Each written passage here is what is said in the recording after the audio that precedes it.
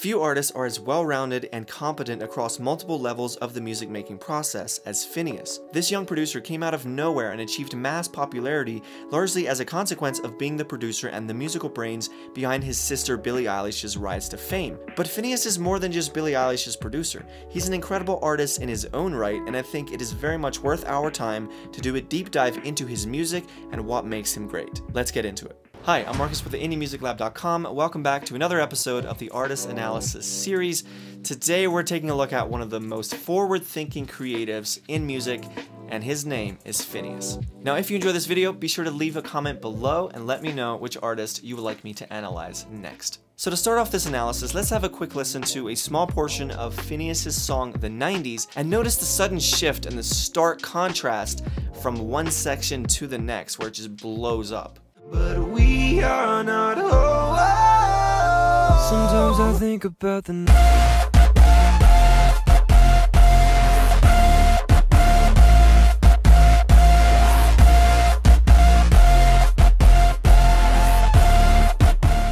This is such a powerful production move. It just, it wakes you up and it hits you in the face like, whoa, like I didn't see that coming.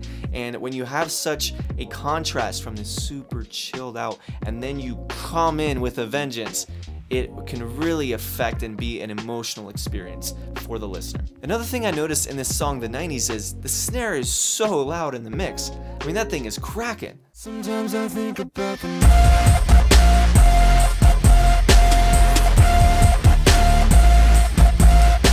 I think it's pretty safe to say that he didn't use a reference track to figure out what volume his snare drum should be at. And let me once again use this as an opportunity to put out the opinion that reference tracks are probably ruining your songs. Reference tracks are a lot like alcohol.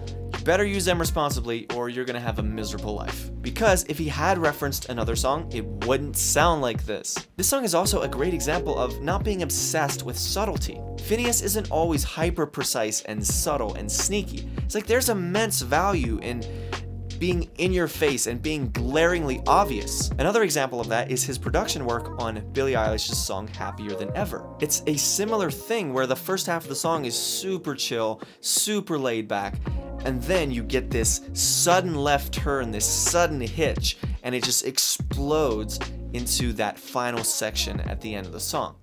I wish it wasn't true.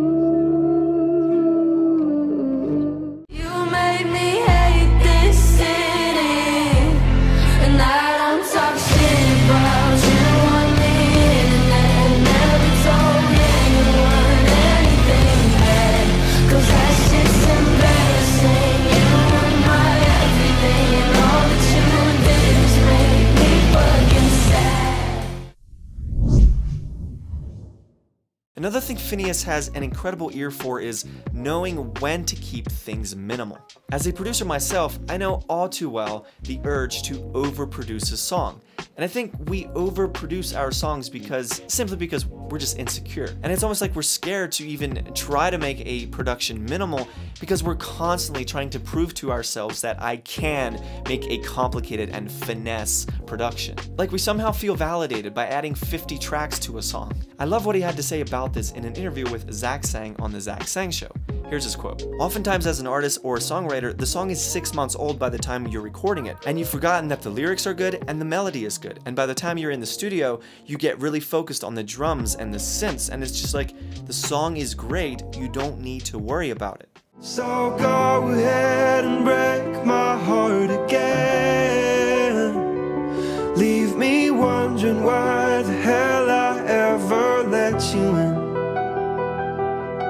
Are you the definition of insanity? Or Now when it comes to Finneas's chord progressions, he uses minor chords far more than the typical pop artist does. So that in of itself gives his music that dark flavor that runs throughout most of his songs. However, minor chords aren't the only chords that have this dark kind of tone. There's one chord in particular that Finneas uses over and over again, and that's what I call the three major chord. And yes, it's a major chord, but it sounds very dark. Listen. Isn't as wonderful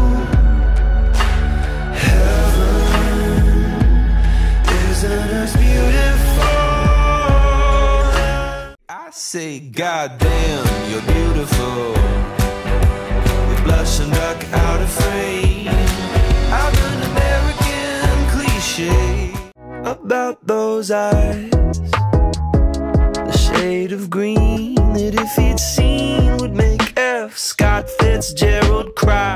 If you're well versed in music theory, you know that he's using the harmonic minor scale for many of these songs, and in that context, this is actually the 5 chord in the harmonic minor scale. However, I'm a big believer in keeping things simple and consistent. So even if a song is technically in a minor key, I use the relative major key when it comes to the number system for every song. So even if a song is technically in a minor key, that first minor chord is still the 6th chord. This helps minimize confusion and maintain consistency regardless of whether the underlying key is the relative major or the relative minor because that 3 major chord sounds the same regardless of whether it's a major or minor key. Now if any of this is confusing, then what you need to do is go watch my 20 minute music theory crash course. This is a no BS, to the point, only the essentials, only the basics, only the things that will actually help you write better melodies and better chord progressions. This isn't just head knowledge, this is really going to help you out if you want a basic crash course of the essentials of music theory. So I'll leave a link in the description, it's absolutely free. So be sure to check that out if you're completely confused as to what a three major chord is. Now, I feel like it would be a bit inauthentic to talk about Finneas without talking about his production work on one song in particular that blew up and broke records across the globe, and that of course is the song Bad Guy by Billie Eilish. I'm the bad guy. Duh.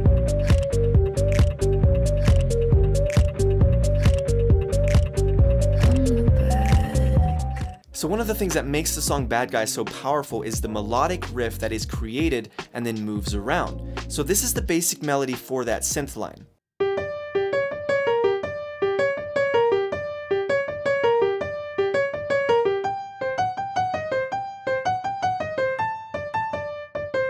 Now this song is in the key of G minor, but like I mentioned, I always think in context of the relative major key, which is the B flat major. So in that context, we have this initial melody line playing over the sixth chord, the G minor. Now everything about this is normal except for one note, the C sharp. So if you think of this in the context of a typical triad, which is what we have here, you're playing a little tension game between the note at the top of the G minor chord and the note directly lower.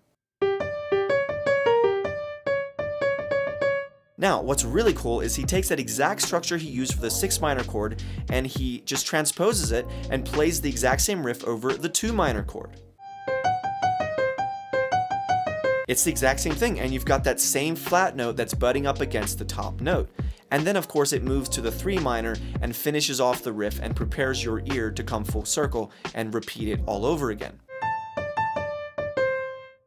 Remember, these productions aren't as complicated as we sometimes think. The key is to understand the underlying patterns and the commonalities and the themes that run throughout the song. And once you start to get an understanding that this chord progression is actually very straightforward and the riff is super simple, then you start to understand like, oh, then it's just a matter of tasteful variation. It's not as complicated as we think. Now, in that same interview on the Zach Sang show, one of the things that I found fascinating was how Finneas talked about his thoughts on the common belief that the best songs always happen very quickly. This actually isn't always true in Finneas's case. He mentioned how songs he produced for Billie Eilish, like When the Party's Over and Bad Guy, took a long time to record and get right. So if you're feeling guilty for spending a lot of time on your song so that it reaches its fullest potential, just know that Finneas does the exact same thing. This is very much reliant on your intuition and your ability to be self-aware. Like we mentioned earlier, you don't want to overproduce a song, but you also want to be aware of those instances where your song can really use that extra amount of time spent where you can dial in everything very precisely because not every song is created equal. I think it's a great experiment, if nothing else, to actually spend a bunch of time on a song, to really experiment, really go nuts with it, and see what that can sound like. Because you're never gonna know what your fullest potential is of making a complex song. Not that these songs are always complex, but as far as as far as being it's very detailed and precise, it is a useful experiment to once in a while see where that line is and spend as much time as is needed to make your song reach its highest potential.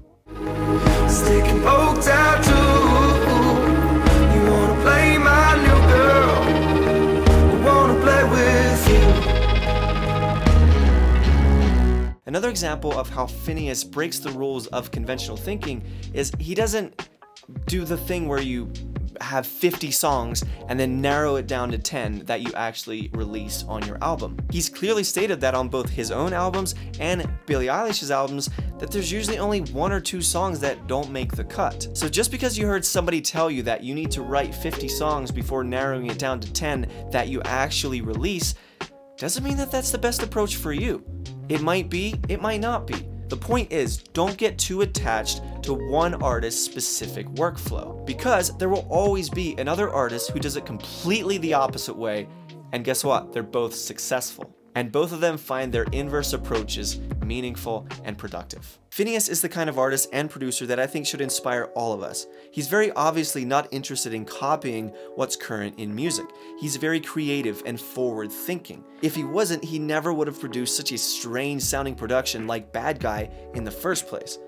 But what I also respect is he doesn't try to copy the work he did and still does for Billie Eilish. He's interested in paving new paths and exploring new soundscapes and textures, even if it's not the most popular sonic flavor in music today. But that's why we categorize artists like Finneas as being indie artists. And that's why I love this genre, and that's why I teach this genre.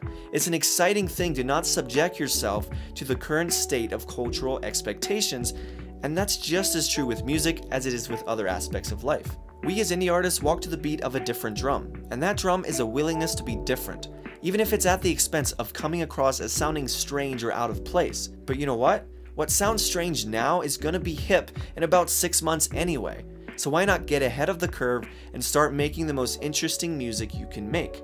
I think that's the best advice I can give. Alright, thanks so much for watching this video. I really hope it gave you some insight and I hope it was helpful. If you want to learn more about music theory and you want a basic understanding of the essentials of music theory, like I mentioned earlier in the video, link is in the description. It's absolutely free. So be sure to check that out. Thanks again for watching. Have an amazing day. Happy music making.